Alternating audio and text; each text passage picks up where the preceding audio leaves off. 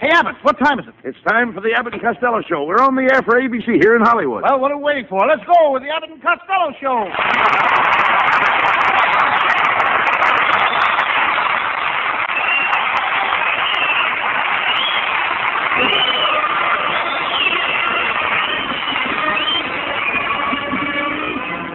What is your Sam Shovel detective story for tonight, Luke? I think I'll do one of my old Western cases. I call it the case of the general who opened up a drive-in and was caught selling horse meat, or Custer's last hamburger stand.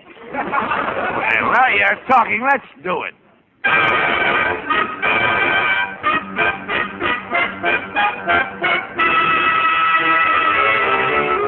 I'm Sam Shovel, private detective. I remember my first case. Three-eyed Maxie the murderer.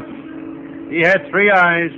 He was the only man in the world with 20, 20, 20 vision. and there was my second case. Terrible Tony, the toughest gangster in Los Angeles. He was a bronze giant with muscles of steel and an iron fist. I had to shoot him. May he rust in peace.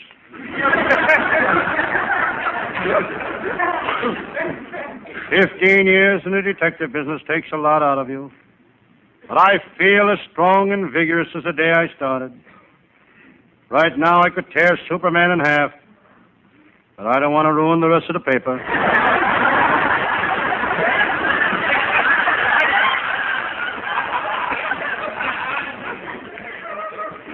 I feel kind of thirsty. I go to the sink. This Los Angeles water is getting hotter every day.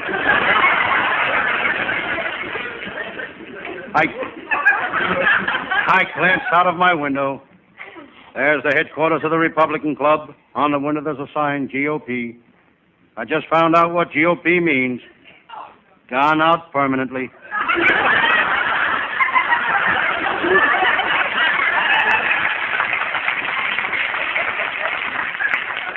I look down at my desk. There's my new wristwatch. My new wristwatch. It's a shock-proof, non-magnetic, waterproof watch. The directions say don't take this watch out of the box. Fresh air ruins it.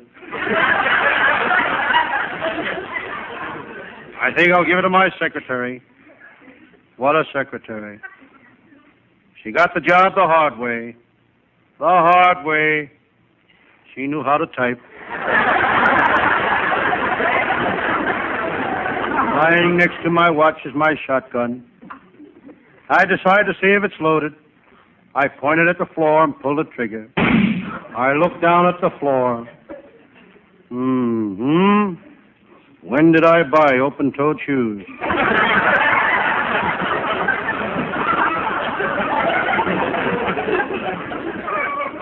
I reach in my coat pocket. Here's a wallet I found last night. I hope I can find the owner. A check. I check to see what's in the wallet. Here's a card. If found, return to Mr. Nichols. Delmar Hotel. Here's a driver's license issued to Mr. Nichols, Delmar Hotel. Here's a birth certificate with the name Nichols. Here's the pink slip for a new Hudson sedan issued to Mr. Nichols, Delmar Hotel. Well, here's $600 in cash. Looks like I'll have to keep the money. Serves that guy right. He should carry some identification.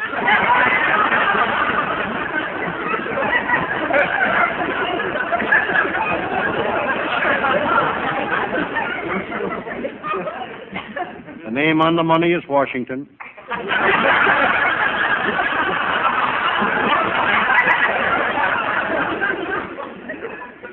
Now, let me see. Oh, yes. It's about time for my pal, Lieutenant Abbott of the Homicide Squad, to show up. Abbott had a pretty tough week chasing crooks. Monday night he was held up on Main Street. Tuesday night he was held up on Broadway. Wednesday night he was held up on Sunset Boulevard.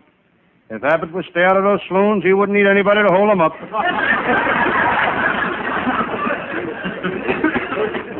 Lieutenant Abbott don't have to work.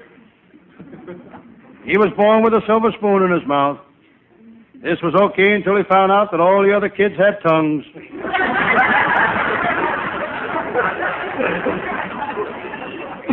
it's not easy to be born with a silver spoon in your mouth. Up to the time Abbott was 19, all he could say was Rogers Brothers, 1847.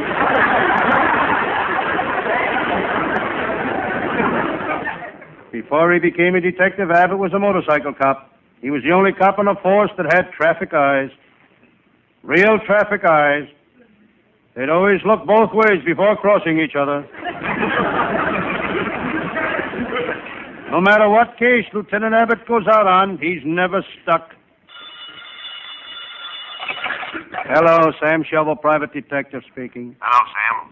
This is Lieutenant Abbott. Sam, what time do the vaults open in the Fourth National Bank?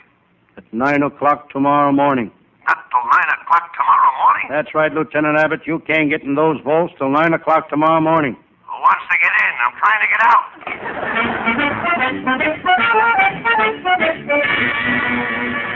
Suddenly, my door opened. Sam. Sam. Sam It Shovel. was my pal, Lieutenant Abbott. He was scared to death. He was perspiring. He-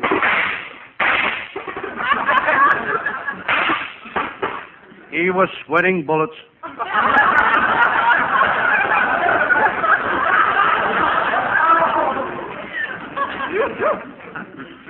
Lieutenant Abbott, how'd you get out of that bank vault? Sam, I'll tell it to you all in a nutshell. Can't you tell it to me here? I don't think we'd both fit in a nutshell. Sam, I've been working on a series of bank burglaries. Monday night, the Kelly gang held up the First National Bank. Tuesday, they held up the Second National Bank. Wednesday, they held up the Third National Bank. So tonight, I was waiting for them at the Fourth National Bank. And you caught them? Nah. Tonight, they held up the First National Bank again. but enough about myself. Enough about my trouble, Sam. Sam, you don't look good. What's the matter? I didn't get any sleep last night, Lieutenant. A burglar climbed into my bedroom window and made me get out of bed. I stood there shivering in my long underwear. Why didn't you holler for help? He had a gun, and I was afraid to open my trap.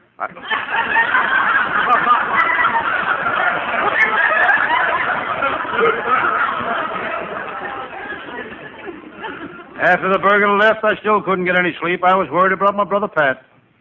He kept poking his head into my room Well, lots of guys poke their heads into their brothers' rooms. on the end of a stick.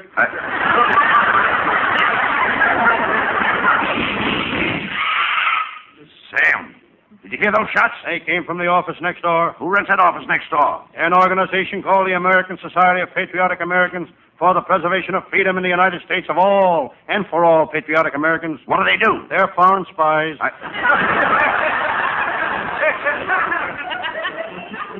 Sam, Sam, look. There's the guy that did the shooting. He's coming in here. He's got a gun. Ah, so this is the place I've been looking for, eh? Where's Sam Shovel, the private detective?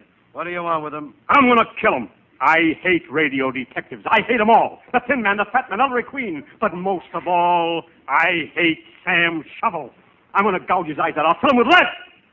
Now, who are you? Oh, I'm just an ordinary police. Eh? Honest, mister, I'm not a radio detective. And you? Who are you, fatso? Well, uh, I'm, uh, um, you know, it's, um, I'm the. Um, Don't stand there, Rabbit. Hand me my cookbook. cookbook? Who are you? don't you recognize me? Mary Margaret McBride. Oh, so you're the one that gives out those recipes, huh? Mm-hmm. Well, if there's anything I hate worse than radio detectives, it's those recipe programs. I'll kill them all. I'll kill them like a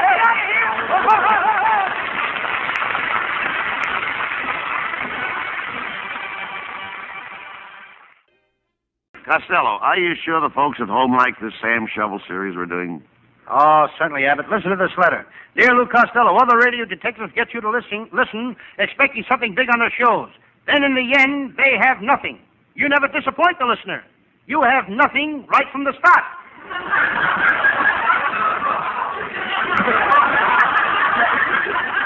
Well, that's quite a compliment to our writers. Oh, sure. And I'm glad they heard that bear letter, folks, because our writing staff is headed by Eddie Forman with Paul Collins, Pat Costello, Martin Ragaway, and Leonard Stern. And our producer is Charles Vanda. See you all next Thursday. Good night, folks. Good night, everybody. Good night, everybody. Good night. Good night, everybody. Out of the world.